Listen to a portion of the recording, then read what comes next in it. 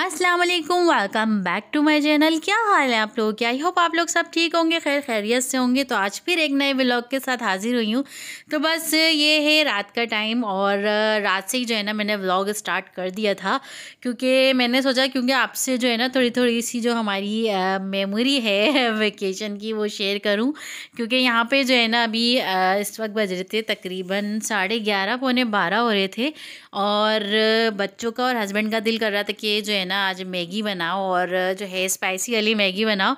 तो मैंने सोचा, चलो, आज जो है मैगी भी बना लेती हूँ साथ साथ आपको बताती भी जाऊँगी कि हम लोगों ने जो है नाइट में हमने क्या किया और क्या खाया, कौन सी मूवी देखी, वो भी मैं आप लोगों को बता दूँगी।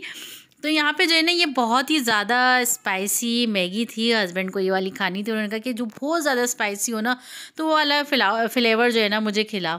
तो मैंने ब्लाजिन छोड़ के मैंने ये वाली जो है ना मैगी जो है हस्बैंड के लिए बना ली थी साथ में। बच्चों की भी मैगी जो है ना, बन रही थी, और बच्चों के काम आप देखें, इस वक्त बारह बज रहे हैं, और ये किस तरह से जो है ना, खेल में इन लोगों ने क्योंकि वेकेशन चल रही है ना तो इसलिए मैं फिर कोई जो है ना, लोगों ज़्यादा नहीं फोर्स कर रही हूँ इस चीज़ के लिए। तो मैंने कहा, चलो वेकेशन है, जब तक खेल लें।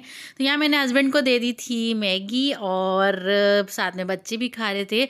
और एक छोटी सी जो है, हमने मूवी हम सर्च कर रहे थे, कौन सी मूवी वगैरह लगाए। तो इस तरह से हमारी रात जो है, गुजर गई थी और नेक्स्ट डे जो है ना, फिर फरमाइश थी हस्बैंड की नेक्स्ट वही पुलाव।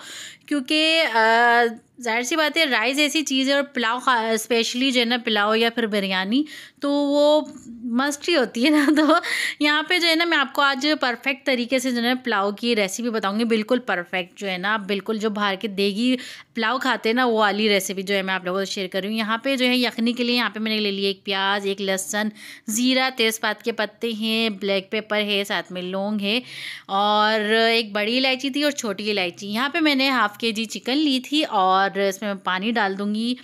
तो यहाँ पे यखनी के लिए मैंने तकरीबन तीन से चार गिलास मैंने पानी डाले थे और ये यखनी के लिए मसाला मैंने डाल दिया है। गरम मसाला जो मैंने आप लोगों को दिखाया था।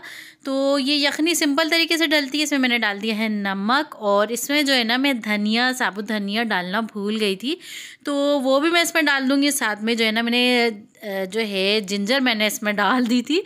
और ये देखिए, यहाँ पे मैं डालना भूल गई थी तो मैंने इस पॉइंट पे टू टेबल स्पून मैंने यहाँ पे धनिया, साबुत वो डाल दिया। अब इसे मैं यखनी के लिए रख दूँगी। अच्छा यहाँ पे जो आप, मैं बता रही हूँ ना, आपको ये है स्पेशल दम का मसाला।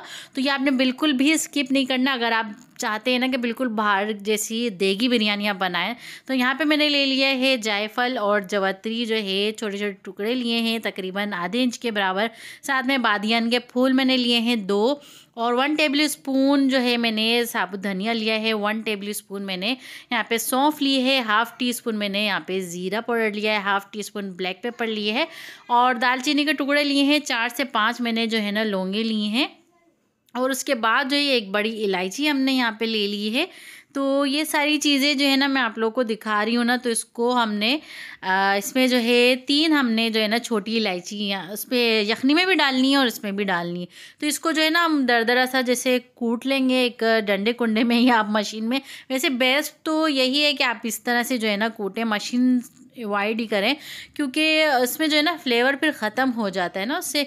तो इसी में जो है ना मेरी कोशिश यही होती है कि मैं ज़्यादातर जो है ना इसी में पीसा करूँ, लेकिन ज़्यादा क्वांटिटी तो ज़ाहिर सी बात है फिर मशीन में ही कूटनी पड़ती है।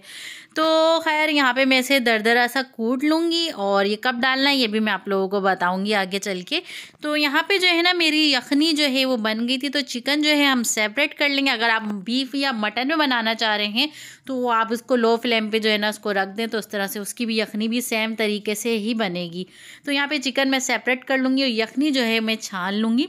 उसके बाद अब हमने इसका जो है मसाला भूनना है, उसमें क्या क्या जाएगा वो भी मैं आप लोगों को बताऊँगी। यहाँ पे मैंने जो है ना आधे कप से ज़्यादा थोड़ा सा ऑयल लिया है। अब यहाँ पे अगेन हमने जो है ना साबुत गरम मसाला डाला ज़्यादा नहीं डालना थोड़ा सा ही डालना है।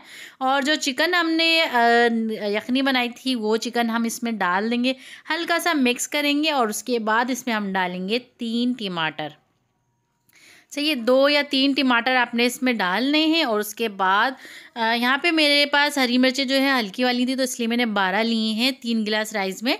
और आप चाहो तो बढ़ा भी सकते हो अपने स्पाइसेस के हिसाब से। और उसके बाद मैंने चार से पाँच आलू बुखारे लिए हैं, तीन से चार मैंने लौंगी मिर्चें लिए हैं और टू टेबल स्पून के करीब या वन टेबल स्पून के करीब मैंने यहाँ पे जिंजर गार्लिक का पेस्ट लिया है, आधा कप दही लिया है और साथ में हाफ़ टी स्पून मैंने कुटी हुई लाल मिर्च डाली है और हाफ़ टी स्पून मैंने यहाँ पे अजीनो मोतो डाला है और थोड़ा सा नमक मैंने डाला है।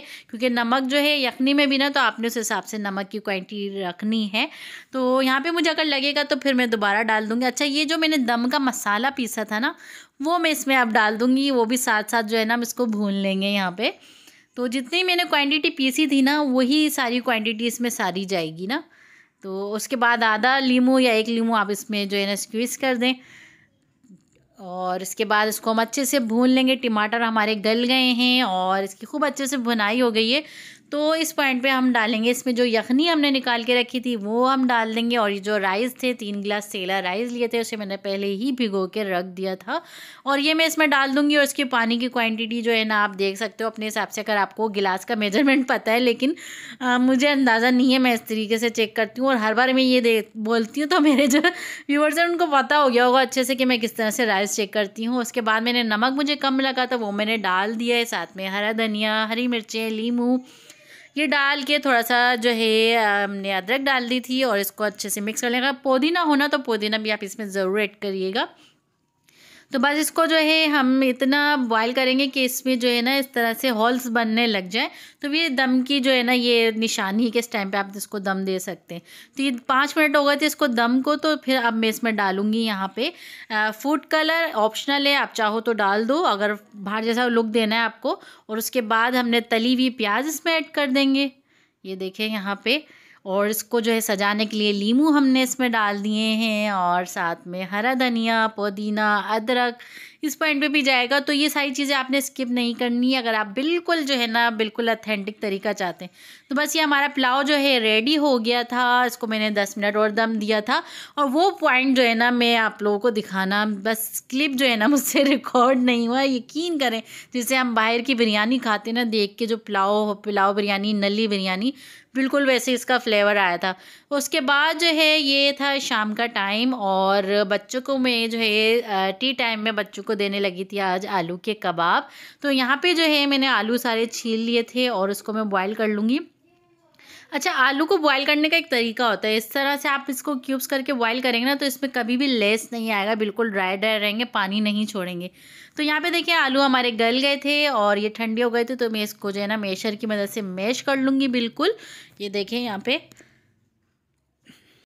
अच्छा ये मैश हो गए हैं, अब इसमें डालेंगे मसाले। मसालों की सारी जो है ना, इसमें सारी महारत है। यहाँ पे मैंने कुटी हुई लाल मिर्च डाली है, नमक डाला है। अच्छा अपने हिसाब से डाल सकते हैं ना आप। यहाँ पर बच्चों के हिसाब से मैंने डाला है हाफ़ टी स्पून जो है मैंने गरम मसाला डाला है थोड़ा सा मैंने अजीनो मोतो इसमें ऐड किया है। हल्दी पाउडर डाली है हाफ़ टी स्पून और उसके बाद जो है यहाँ पे मैंने थोड़ा सा ज़ीरा मैंने डाल दिया है और यहाँ पे अब जाएगा आ, हरी मिर्ची और हरा धनिया यहाँ पे डालेंगे और इसको हम कर लेंगे अच्छे से मिक्स और यहाँ पर मैंने चाट मसाला भी ऐड किया है सही है? चाट मसाला भी आपने इसमें डालना है लाजमी डालना है और थोड़े से स्पाइसेस मुझे कम लग रहे थे तो मैंने बढ़ा दी ये आपके हाथ में है ना, आपने अगर कम डालने, रखने हैं ज़्यादा तो इस तरह से आपने इसका बेटर बना लेना है। देखें कितना ज़बरदस्त बना है। और इसके जो है, मैंने कबाब वगैरह बना लिए थे, अंडे में डिप किए। आप चाहो तो ब्रेड क्रम्स लगा के भी फ्राई कर सकते हो, लेकिन मैं जो, मैंने जो बनाए थे ना, वो इस तरह से बनाए थे जैसे लुक वाइज ऐसा लग रहा था हम शामी कबाब खा रहे हैं। वैसे भी बच्चों को जो है ना आलू की रेसिपीज़ ना बहुत अच्छी लगती हैं। तो इसी तरह से सारे कबाब जो है मैं फ्राई कर लूँगी और साथ में हस्बैंड जो है पैटिस लेकर आ गए थे। मैंने चाय वगैरह भी बना ली थी। तो शाम का टाइम जो है ना, हमारा इसी तरह से गुजरा था और ये हमने जो है ना, टी टाइम में कर लिया था। तो नाइट टू जो है नाइट टू नाइट रूटीन मैंने इवनिंग तक आपको जो है ना बताया कि हमने क्या बनाया था और क्या खाया। तो ये था हमारा फाइनल जो है शाम के कबाब और बहुत ही अमी बने थे। आप लोग भी इसे ट्राई करना। और ये था मेरा आज का व्लॉग आई होप आप लोगों को अच्छा लगा होगा और आज की मज़ेदार सी रेसिपी आप लोग ने स्किप नहीं करनी, बिल्कुल, और इसको ज़रूर ट्राई करना है। तो बस फिर मिलते हैं इंशाल्लाह नेक्स्ट व्लॉग में। दुआओं में ज़रूर याद रखिएगा। मेरी और आयशा की तरफ़ से। अल्लाह हाफिज़। Take care bye bye